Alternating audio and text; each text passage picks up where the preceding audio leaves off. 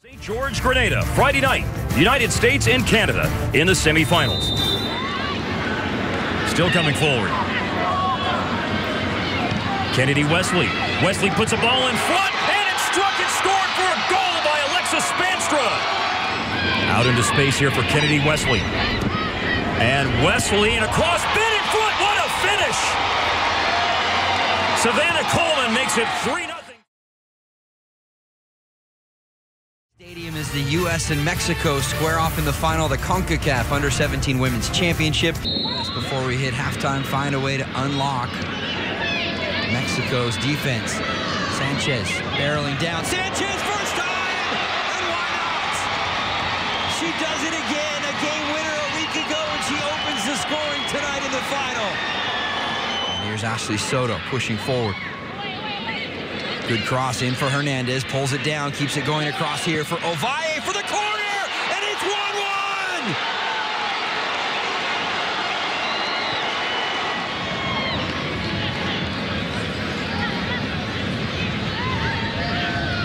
So good at using your body and shielding that ball. Smith out in front, and there's your winner, possibly! Civana Kuhlmann! Look at three all goal side on the back line. Sophia Smith takes one look, nobody. Did they think Aguirre was coming off her line to get it?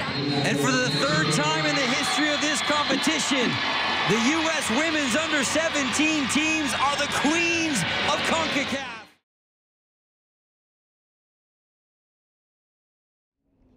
The USA in 2014-2015 beating Japan on the final day by scores of 2 to 1 and 3 to 1 respectively to take home the U17 Women's NTC Invitational title.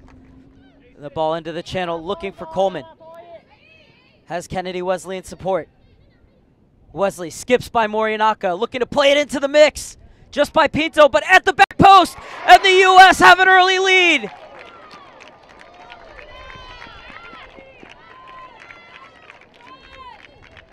And that ball pushed into the path of Kuhlmann. Takahira matching her for pace. Kuhlmann gets a step on her, puts it to the back post, and the U.S. have a 2 0 lead.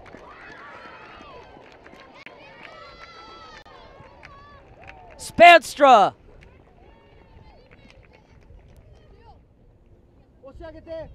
Japan with another flowing move down the far side.